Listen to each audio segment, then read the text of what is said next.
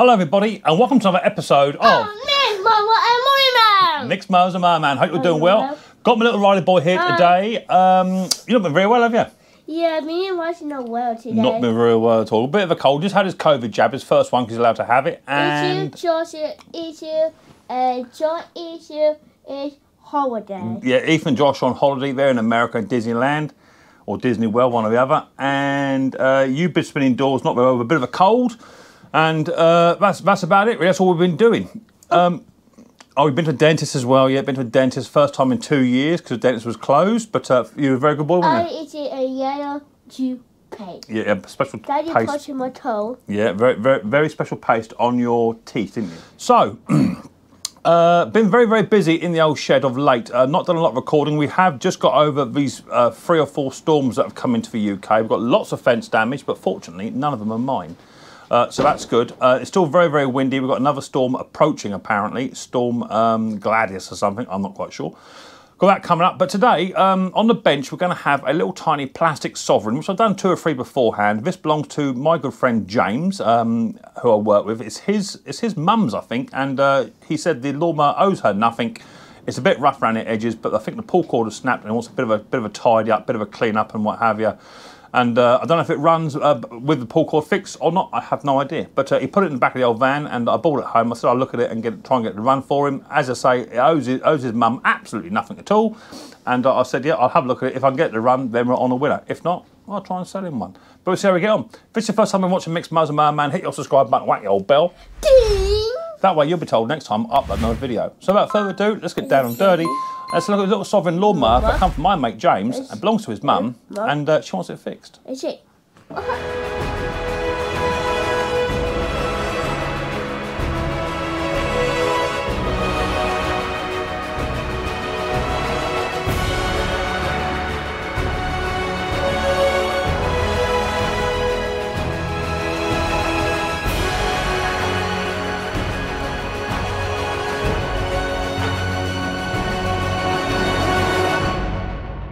Right, Riley, we're going to get the lawnmower in. I have just rigged up um, two, you know, those lights I did in a video recently. I've just bought some, um, oh, but well, two seconds, just bought some new booms for these to go on. Uh, one is just over yonder. Let me just uh, spin the camera around. One's just over here on a boom, which is quite nice, and I also have another one over the far side near the door. So hopefully that will improve your uh, your viewing. And uh, let me get the lawnmower in with Riley boy. Coming. What did Daddy? Yep. Let's uh, undo that. That's it. You wheel it up there, then. That's it. In the door. Come on, boy. Come on, boy. You can do it. That's it. Right. In you go with it. See a mama dies. That's it. There's a lawnmower. Now, it's not very heavy. Know the head. No, it's all plastic. The budget. Yeah. See, no way, no work. Yeah. But it's, it's just a bit rough around the edges, and the pull cord is broke. That's perfect. Daddy, Let's just get repositioned a little tiny bit just so we can uh, see what we're doing. to do. Yeah, you can pump it up, mate. You pump it up whilst Daddy gets the lighting sorted out. Hang on, yeah, just gotta, just gotta do it up a touch like that. All right, now pump. Away you go. Pump it up. No, it. It does work. Keep pump, pump, pump. Keep pumping. That's it. There you go. I. That's going up. And then I've got these new lights set up now, which I can now fully adjust as well to where I want it. So let's get all set up here, and then uh, then we rock and roll, I suppose. Okay, so we're all set up, and uh, hopefully um, you'll agree that the lighting is actually um, 100% better um, with the, uh, the new light I've, I've now purchased and oh, got from Mrs. P. Um, P? yeah, mummy. Uh, the uh, the lighting should uh, should improve your viewing quality. I hope. Um, I think it has. I'm very happy with it. So right, let's get a 10 mil. So first things first, Riley. Um, pull cord. Pull cord. Let's get a magnet tray. Yeah, easy. That's easy. Let's put the nuts into there so we don't lose them. There you go. There you go. Okay, so that can come off. Now, hopefully, this isn't broken. Is your bottle, I've got a feeling it's just literally come un- come unwound. Wow. Is what I think. Maybe There's a pull cord. I think that string's just going to come off of there. It edging. Yeah, see that's just snapped right at the very, very base there. So that's cool. Hopefully the spring is not damaged. Um, if it is, we'll have to either renew the spring or um, get a new pull cord cover for it. But uh, hopefully we'll be all right. So what's about seven feet of pull cord because it's got to go around the pull cord and then it's got to go About or here.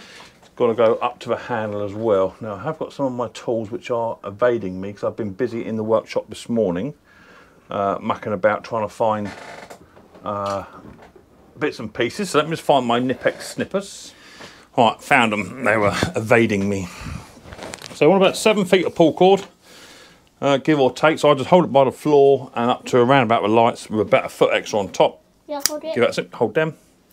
What do you do? Love it. They're snips. They are very, very sharp. So mind your fingers. What do you want that? Yeah, I'm going to put your fingers in there because uh, you'll uh, you'll feel that. then I want to get my lighter, which would be in one of my pockets. there it is. Just want to melt the end of this off. Alfie Selfie comes back to North Pole today. Who is? Alfie Self. Alpha Michelle's come back from the North Pole, is he? I don't think he is. Yeah. Right. So with this pull cord, I'm not sure if it's actually broken What did Daddy? or what's going on with it. I now. Is it going to call or not? See it. See it. See it. Let's have a look. So it's not actually calling at all. So either the spring has snapped or it's just come away from its come away from its housing. So there's a flathead screwdriver in there, screw in there. I have to remove that.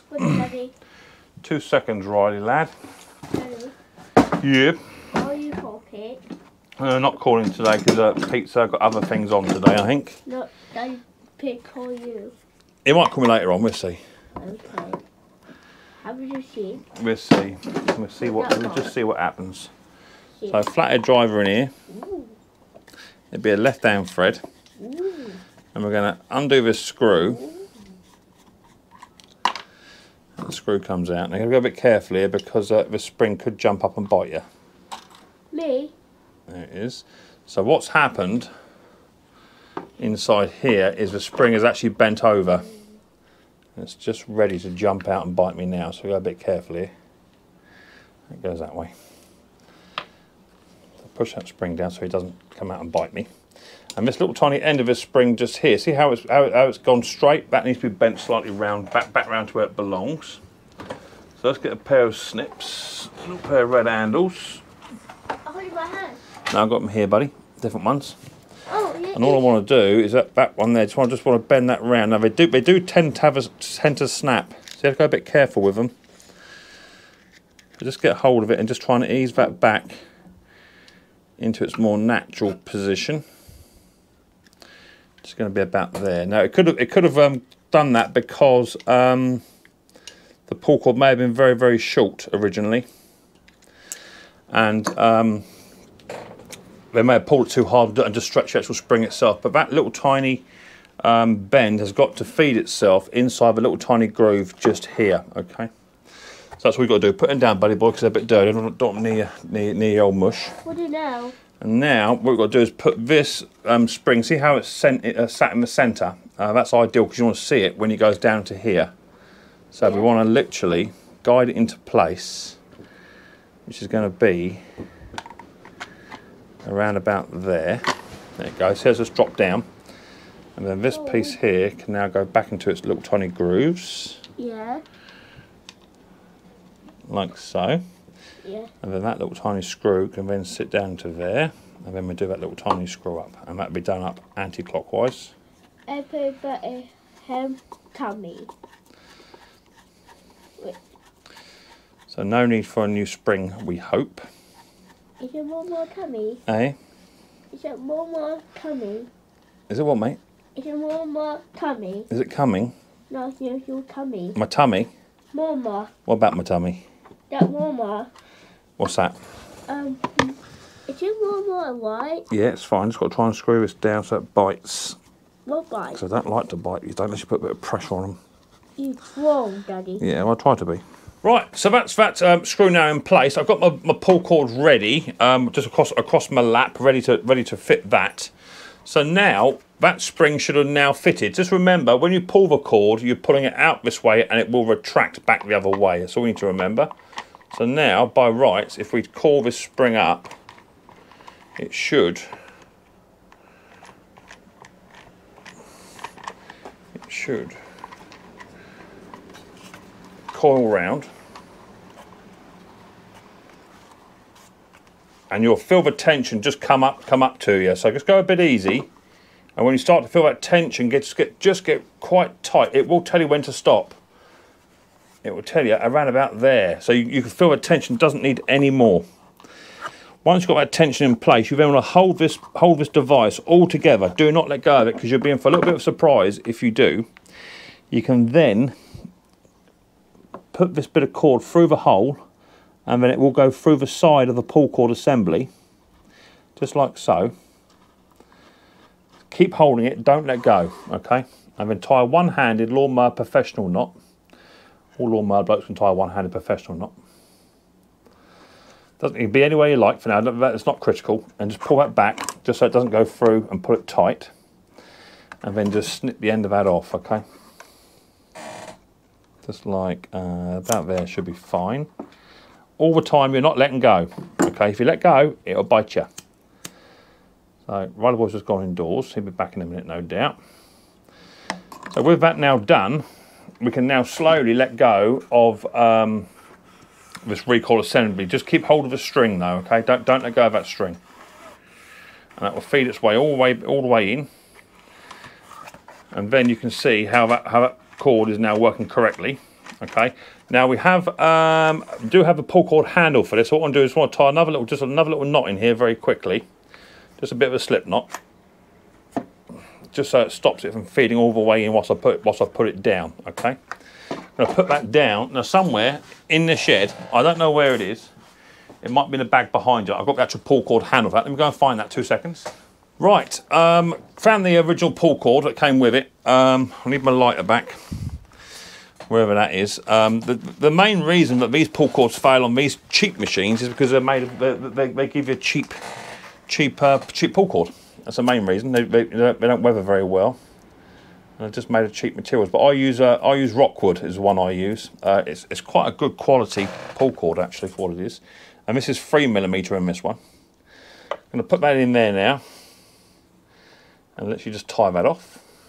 Right, I'm getting lots of phone calls because uh, my, my, my old man, he's got due to have his uh, his knee operations just come through. So he's, he's been ringing me up every three seconds because he's got appointments to, to write down and stuff. So uh, yeah, Been keep ducking out of the camera because uh, my dad keeps ringing me up. But uh, he's got a, a, very very very busy March ahead of him. So that's good. Right, put a, a, double knot in there, a little granny in that one. Put that goes in there. Now this knot here, that, that should just pull out like so, and then you've now got a fully working um, pull cord which we now uh, we can now fit back onto here. Now, as I say, I don't know if this machine runs or it don't run. I've got absolutely no idea at all. Uh, James said it used to run, uh, but then you know we have all heard that before. Um, but I suspect it does. I have used quite thin uh, pull cord rope because that's what was in here originally. No point putting in a 3.5 in this one because the recoil assembly won't won't take it. Uh, he did say he wants a new air filter cover, which I've got a new one. I've got, I've got some second hand ones. I can probably find one for him though no drama. He's got a bit of a, looks like his mum's stockings around there at the moment. That's cool. Um, so I don't know if it actually will start or not. Shall we just try and get a little fire because it's got everything it needs in it. Um, let's have a quick check for petrol. Oh, that's that tight too. Let's just have a quick little check. Let's just drop a little bit of fuel in there. Just a smidgen. Just to wet the old whistle. Well, that can go onto there. Let's put that fuel cap down. There it goes. These are mass produced in the UK, these little engines. Very cheaply made, but they don't sell for a lot of money and you can buy them very, very cheap as well. Let me just back up a touch because I want to pull this, uh, pull this engine over. Make sure you're in shot, which you are. Um, let's see if it do anything then. Uh, a few uh, cables had a bit of a fix up here as well. What's going on with that? We'll figure that out in a minute. The dead man seems to be working. Uh, let's, let's prime that. We're getting a bit of, bit of stale fuel can smell coming through. Let's give it a good prime. Let's just check the oil as well, which is typical of an SV150. The funnel always comes off away from the, uh, the actual mower. So that's standard with these. Let's poke that back down in there again.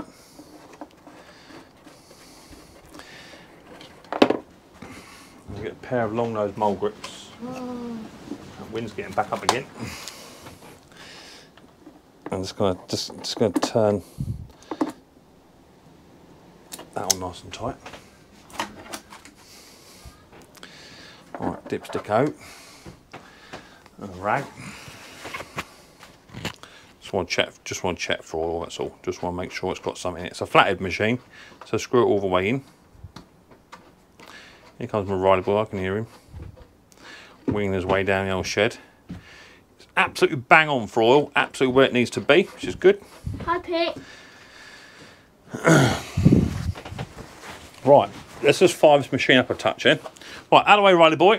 Daddy. Yep. Is? Yeah, two seconds. Let's uh, prime that. Let's see what it do. Right, myself, I don't, I don't, want, I don't want to bosh you.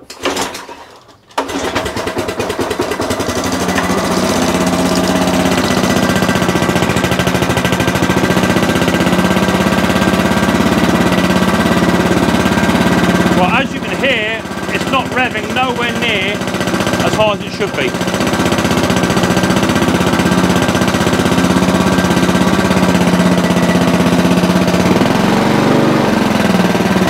So what I'm going to do with that, I'm just going to get some magic. This, this is magic spray uh, called WD-40. Even Harry Potter uses this. All right.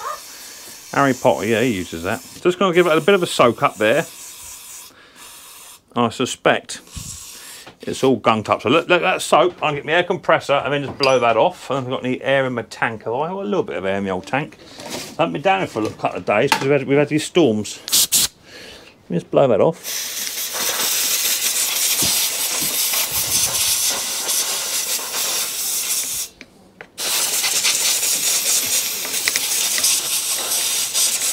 See if that makes any difference. Just just a build up of, of, of gunk and grime. So, right, let's give it another pull. So, one more time. Let's try one more time. Is that that, Riley boy?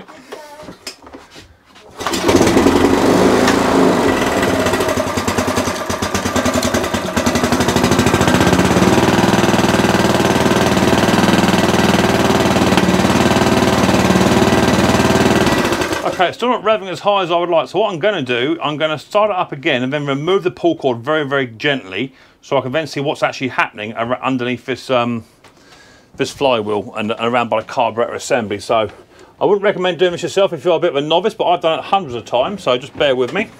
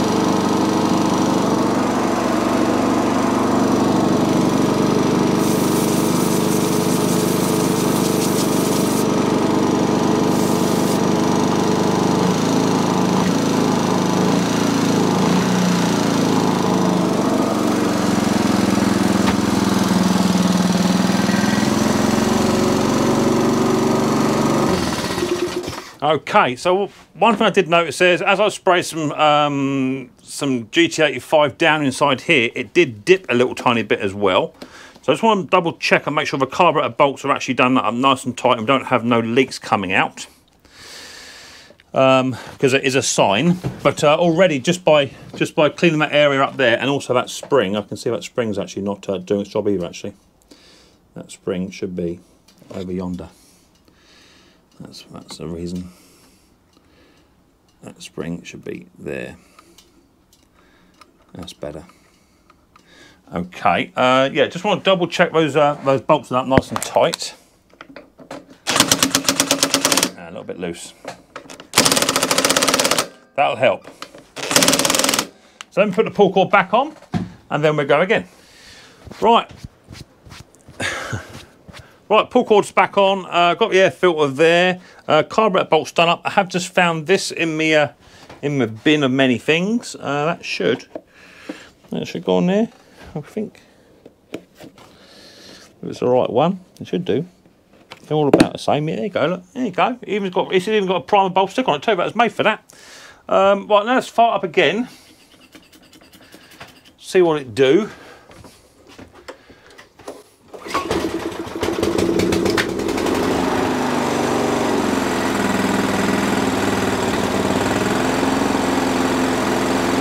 Yeah.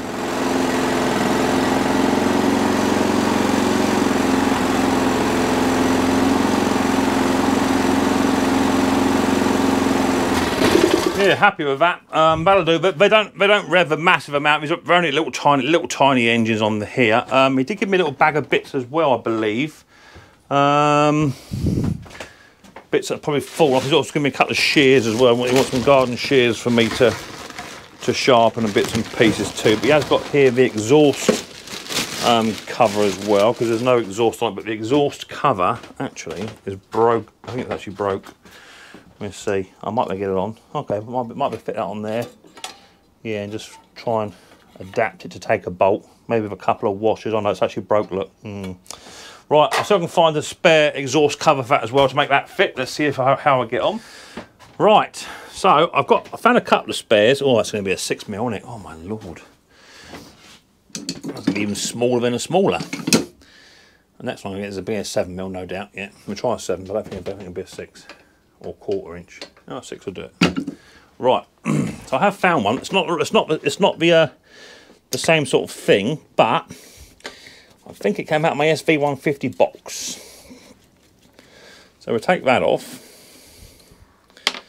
Don't lose the old nut mix. We're going to keep that. That's the broken bit off of there. They do that, and then you've got a nut uh, all the way up here, which is which is going to be an eight mil, eight or ten.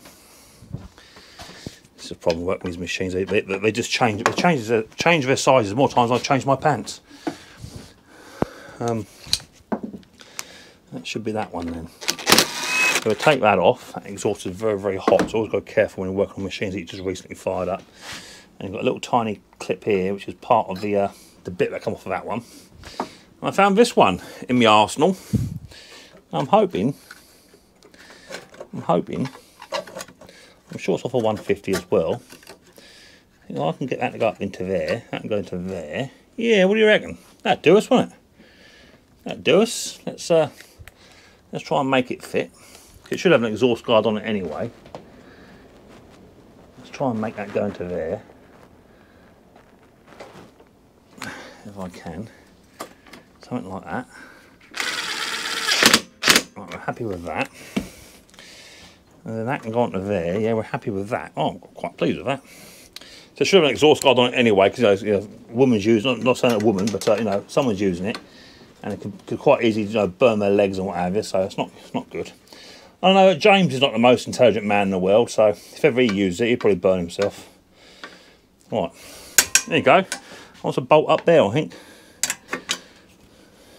There's a there's a, a feature for it. Let's just tighten up a touch as well. Lovely. Right, so that should do that. Get rid of that one. So that's nice and cool. So that's got a nice exhaust guard on it. It's not the one for it, but it'll do. Um, you know me, guys. Safety first. Um, so that's all that done. All I've now got to do is whip the blade off, sharpen and balance, um, and up the top, the drive cable is just a bit skew whiffed, so I think it just wants repositioning, that's all. So let me get that done, sharpen and balance, and when I come back, we'll take it outside, give it its final run, and we'll go from there. Okay, all done. So I have just take the spark plug out, clean that. It didn't have a new one because it's not in for service. Um, but it's had blade sharp and balanced, spark plug cleaned, air filter cover put on, new pull cord. I did adjust the carburetor a bit more as well. Uh, new uh, second-hand heat shield. I sorted out the drive as well, just a handle. Um, that's about it really. So let's give it a little prime. It should now run a bit better. You will get a lot of wind interference because we are, we are having a storm approaching, so uh, there will be some of that going on.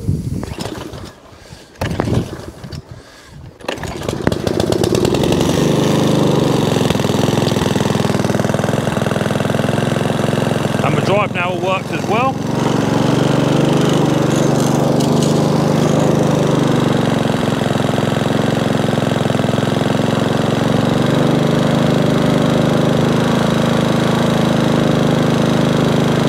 Yeah, runs quite sweet for what it is.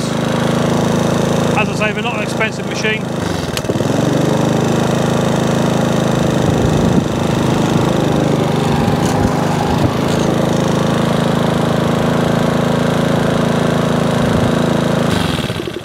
But it'll do the job. Okay, bish bash bosh. That's that little sovereign lawnmower now all up and running for my little mate James. Well, not quite so little, but that's another story. Um, uh, so I cleaned the spark plug. That's all been cleaned up and tidied up. New pull cord. Um, oil was fine. blade sharp and balanced. Pull cord done. Uh, sorted out the drive issue as well. Adjust the carburetor too. It was just a little bit low uh, on the on the tuning, so I have to just sped it up just a little tiny bit because they're doing it to cut on impact and. Uh, those little cheap uh, mass-produced Wuhan uh, Sovereign lawnmowers, they, they, don't run very well, but that doesn't run too bad for that one, but just want to just top up this little tiny touch. You all right, buddy? Yeah. Where you been then? Cuddle with you. You want to cuddle with me? I love cuddling you. We're going to get something to eat. Are you, have you had lunch already? Mm, Have you had lunch? Did you have some of Daddy's special chicken? uh, oh, I ate that chicken You, yet. you've been eating my chicken? Not yet. When?